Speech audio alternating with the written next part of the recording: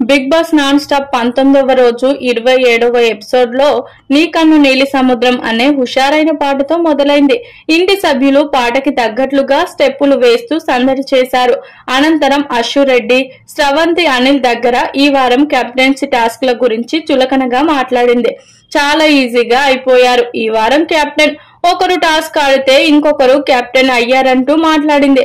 ఇక sticker point విషయంలో సరయు చేసిన మిస్టేక్ గురించి మాట్లాడుకున్నారు.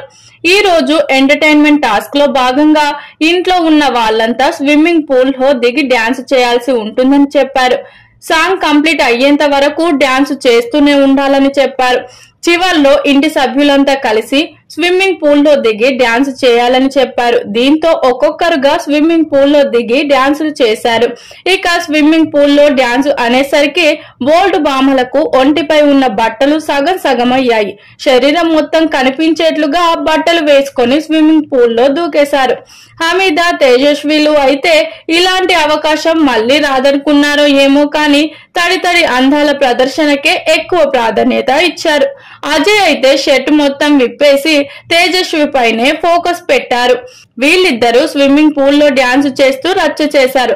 అజయ్ అయితే దొరికిందే అవకాశం అనుకున్నాడో ఏమో కానీ తేజస్విని స్విమ్మింగ్ పూల్లో ఎత్తుకొని మరీ తెగ రొమాన్స్ చేశారు.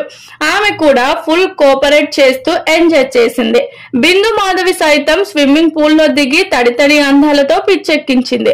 మొత్తానికైతే బిగ్ బాస్ భామలు పెద్దపురం పెదపాపల్ని తలపిస్తూ రికార్డింగ్ డాన్సర్లను గుర్తు చేశారు. బిగ్ బాస్ హౌస్లో ఇంతకు ముందెన్నడూ చూపించని గబ్బుని చూపించారు. బిగ్ బాస్ పాటలు వేయడం వీళ్ళు ఒళ్ళు మర్చిపోయి డ్యాన్సులు చేసి కళ్ళు తాగిన కోతుల్లాగా రెచ్చిపోయారు.